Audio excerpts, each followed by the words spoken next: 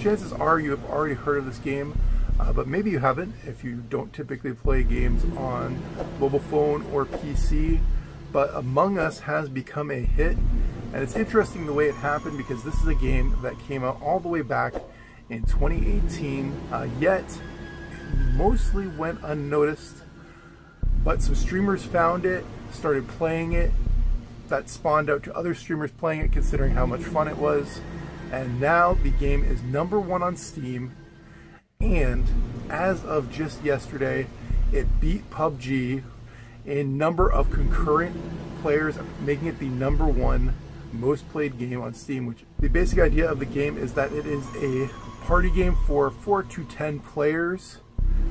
You have to suspect that someone on your ship is an imposter or sometimes multiple imposters. You have menial tasks that are like little WarioWare mini games that you have to complete. And at any point, you could be murdered by someone who you thought was just a regular crew member. Uh, whenever a body is discovered or someone finds someone being suspicious, an emergency meeting can be held.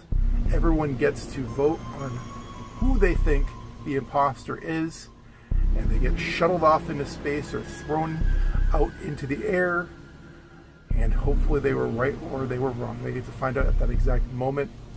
And the game continues until all the tasks are completed by the crewmates or if the imposters manage to kill the number of players that they're trying to kill. I've been playing it on mobile right now. I'm really hoping uh, there's going to be a console release, and with the success of the game so far, I'm sure that there will be. But even if you don't suspect that there's an imposter among you, make sure to find the game every day. Bye.